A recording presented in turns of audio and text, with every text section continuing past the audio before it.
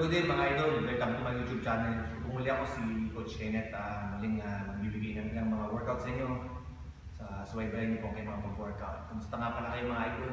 Sana lahat kayo nasa mabuting mga kalagayan at consistent na nakakapag-exercise. So, ang workout ko ngayon ay uh, chest workout, bicep, uh, legs, cardio, at saka abs. So, full body workout. Another full body workout.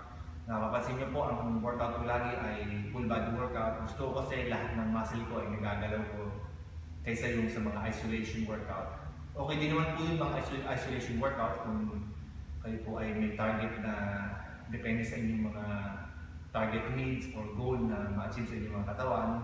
Pero sa akin po kasi ang mas gusto ko po is nagagalaw ko po lahat ng aking mga muscle, full body. So kaya po ang workout ko laging pinapakita ay madalas na full body workout. So, subaybayin po akong mga pag-workout mga idol.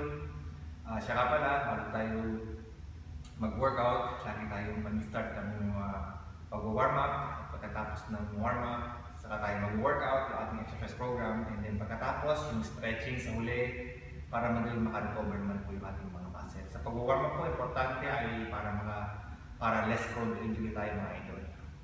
Kain tayo ng mga gusto sa pagkain, ng maraming tubig sa araw-araw, uh, magpa-araw tayo at uh, tayo ng uh, 8 hours a day para lagi tayong malakas ng sila mga idol. So, lamang yung positive mga idol, lagi kang mag-iingat mga idol. So, simula na po ako ng mga workout. So, see you soon mga idol. Thank you.